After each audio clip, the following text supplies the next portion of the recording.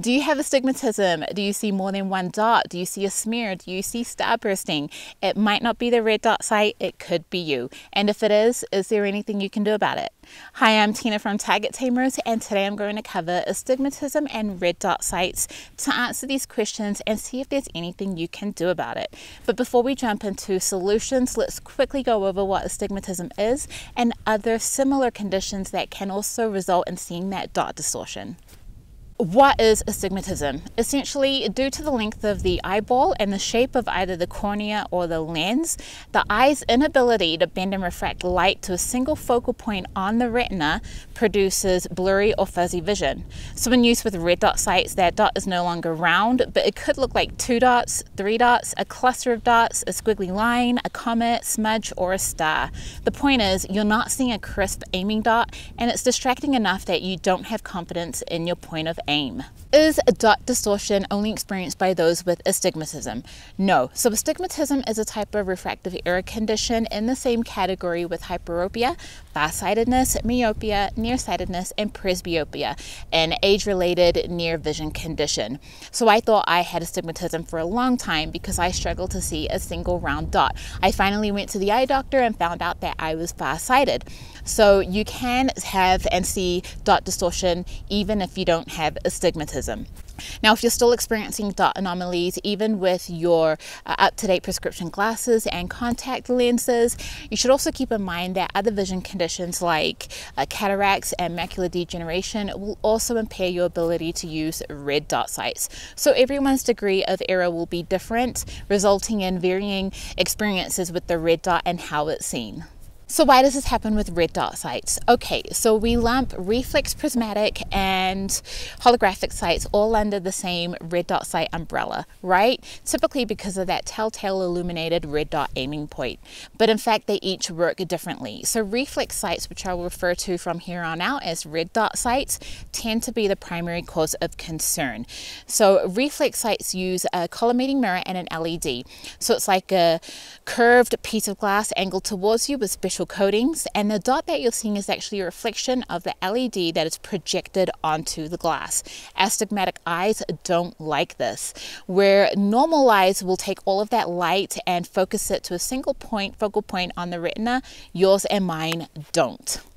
Is it the red dot sight or is it you? To determine who's really at fault here, let's go ahead and run through a couple tests. The first is to take a picture. As simple as it sounds, it's a really fast and effective method to get an immediate answer. The camera lens doesn't have astigmatism or refractive error condition, right? So it should be seeing that dot the way it is. So go ahead and take a picture of the dot through the red dot sight. If it looks like how it's supposed to, then the red dot sight is fine. If it doesn't, well, let's get a second second opinion. Get a friend or multiple friends. Have a buddy look through the red dot sight and report what it is that they see. As you can conduce, this isn't a foolproof method of determining dot quality, but at least it's free and you're doing your due diligence, right? Use your backup iron sights. So take a look at the red dot sight through your AR-15 sights. The rear sight should be an aperture sight as the goal is to uh, reduce the amount of light that reaches your eye. So restrict the additional light rays and you also reduce the additional focal points in the eye. By doing this, it should help you see what the dot should look like. It should clear right up. So if it looks like how it's supposed to look like, the sight is fine. If it doesn't, well, let's try one more method rotate the red dot sight. So give it a spin. So take a look through the red dot sight, keep your focus on that dot and turn it around. Keep your focus on it. However you see that dot distortion, it should do one of two things. If it changes orientation as a result of you physically rotating the optic, then it's a red dot sight. Now, if it maintains its position regardless of physical rotation of the sight, then it's you. At this point, you should have a great idea of whether it's the red dot sight or if it's you. And if it's the red dot sight, honestly, I know it's a pain to go through the hassle of returning a product for repair or replacement, but in this case, it's warranted. Now, if it turns out that it's you, let's go over some things that you can do about it. Turn down the illumination, less is more. This is a pretty standard recommendation that's likely even stated in the instructional pamphlet that came with your red dot sight. Too much illumination will, especially when inappropriately used for the conditions, will exaggerate that dot distortion, even for those that have perfect eyesight. So tame the illumination and see how it affects your ability to see the dot. I know that for me, while it may not entirely improve the way that I see the dot, it does make it so that it is less distracting. Wear polarized sunglasses. So there's actually something to this. Polarized sunglasses have a chemical treatment that allows it to block light.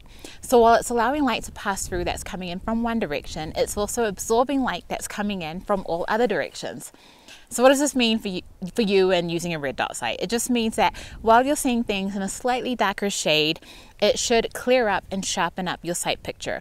So depending on the degree of your condition, it could completely clean up that red dot for you or at least tame the distortion that you're seeing.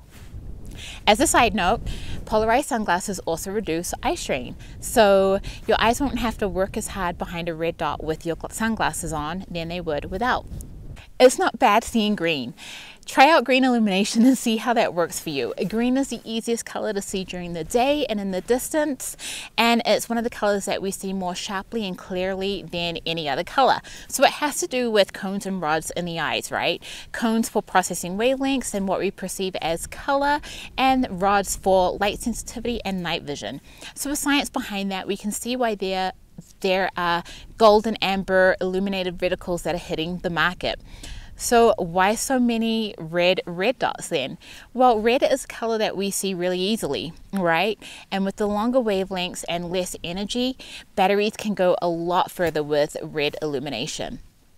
So green red dot sights may be a little bit more expensive than their red illuminated counterparts, but if it helps to clear up some of that dot distortion, then it's well worth it get magnification. Try a magnifier. So this won't be the end-all solution for um, everyone, especially for those with astigmatism, but if you already own a magnifier, then it's worth a try. So a magnifier has a diopter that allows you to compensate for focus, usually up to plus or minus two or three. So if your vision requires more than that, then this won't be the complete solution for you.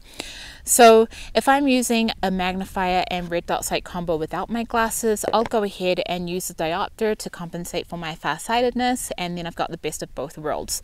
Now why wouldn't I always wear my glasses? Well some red dots I use I can see perfectly fine without them and others I can tolerate the dot distortion that I'm seeing.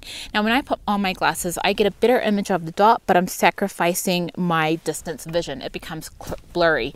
So I'd rather have a clear image of the target and what's down range even if that means I'm seeing a slightly misshapen dot. Now when the dot distortion is too intolerable or too distracting or it's affecting my precision I'll throw on the magnifier behind the red dot sight and then you know, adjust it for my farsightedness and I've got the best of both worlds.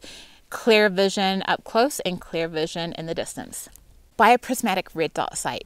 So we know that a reflex sight uses a curved lens and an LED, but a prismatic sight uses a prism in between the objective lens and the eyepiece lens. So the additional step in focusing light, the dual illumination, the glass etched reticle, and often the added magnification of prismatic sights can help to mitigate the effects of astigmatism. Now, even with one times, well, no power uh, prismatic sights, the fact that you're looking at a physical glass etched illuminated reticle may just be what your eyes need to help keep a red dot sight on your AR. Now some examples of prism sights, you have the famous one, the Trijicon ACOG, and then there's the Vortex Spitfire AR prism sight. But many well-known manufacturers from Sig Sauer, Athlon, uh, Primary Arms, even to the popular entry-level Monstrum brand make prismatic sights. Try holographic sight. So this is not going to be the best advice ever because holographic sights, i.e. EOTech and the Vortex AMG are very expensive. And they too project an illuminated reticle, so they're not necessarily considered astigmatic proof sights. But they do incorporate a holographic reflection grating that helps to keep stray light to a minimum with polarizing filter performance. Now the main gripe is usually cost, very expensive, and the second thing is that they people complain about having a fuzzy reticle. Well, the fuzziness is normal because it's made up of thousands of pixels, so it does look pixelated, especially when you focus on it. But that's not the way you're supposed to use the sight. You're supposed to focus on the target and then that reticle sharpens up. This is the correct way to use a holographic sight as is using all red dot sights for that matter. To summarize, test it out. Is it the red dot sight or is it you? The camera trick is a free, fast, and effective way to see what that dot should actually look like. But you also have your backup irons, have a buddy look through them, and you can observe the dot while you're rotating the optic. Now, if you've determined that your red dot sight is fine and it is you, an appointment with the eye doctor is highly encouraged. Now, for the rest of you, go ahead and tame down that illumination, throw on some polarized sunglasses, and remember to focus on the target and not the dot. Now, options to consider on your next purchase or your next replacement would be a prismatic sight and green illumination but you might also want to consider testing out a magnifier or a holographic sight and seeing how those work for you. Now remember to try to always test out before you buy and take your glasses or your contact lenses with you. Now if you're still seeing some dot distortion, ask yourself, is it tolerable or is it too distracting? Or do you need an up-to-date prescription or a follow-up appointment with your doctor? So if red dot sights in any of their forms do not work for you, you should probably consider an LPVO, a low power variable optic. So you still have that non-magnification performance at one times, illumination, and its optical components shouldn't trigger your astigmatism. So hopefully you've gleaned a tip or two on how to make the most of your red dot sight when you have astigmatism. The written version to this video is in a link down below. In that article, recommendations for prismatic holo sights, and LPVOs are provided that might be worth investigating if astigmatism is interfering with your setup. So thank you so much for joining and tuning in with me today. Don't forget to like, subscribe, and get outside.